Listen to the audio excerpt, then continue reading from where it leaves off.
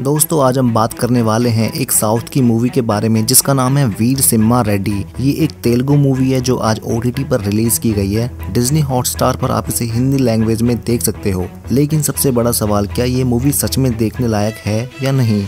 South की movies में उनका एक्शन एक्स फैक्टर होता है। पर क्या होगा, अगर किसी मूवी का एक्शन उसे ले डूबे? मूवी एक्शन से शुरू होती है और एक्शन से ही खत्म। हर पाँच दस मिनट में आपको एक्शन देखने को मिलेगा। लेकिन 90 परसेंट एक्शन सीन्स इतने ओवर हैं कि क्रिंज वाली फीलिंग देते हैं। मूवी में हीरो एक भारी भरकम कार को लात मारकर उसे पीछे से उठा देता है। इससे ज़्यादा और क्या ही देखने को मिलेगा। कोई भी फाइटिंग सीन हो, उसमें इतना ज़्यादा स्लो मोशन है कि इरिटेट कर देता है। मूवी का ड्यूरेशन ड्यूरेशन दो घंटे पचास मिनट है। इसके अलावा मूवी में कुछ अच्छी बातें भी हैं, जैसे स्टोरी बहुत फास्ट मूव करती है। मूवी में पास्ट और प्रेजेंट वाले सिनेरियो को काफ़ी अच्छे तरीके से जोड़ा गया है। लास्ट में जो क्लाइमैक्स है, वो भी काफ़ी अच्छा था। और जो इमोशनल बैकग्राउंड म्यूज़िक है, वो तो सच में कमाल का था। श्रुति हसन भी मूवी में है, लेकिन उनका होना या ना होना बराबर सा है। उनका स्क्रीन प्रेजेंस देखकर लगता है, मानो उन्हें ज़बरदस्ती कास्ट किया गया है। पूरी मूवी में चार सॉन्ग्स हैं एंड आई एम श्योर आप उन्हें स्किप करने वाले हो।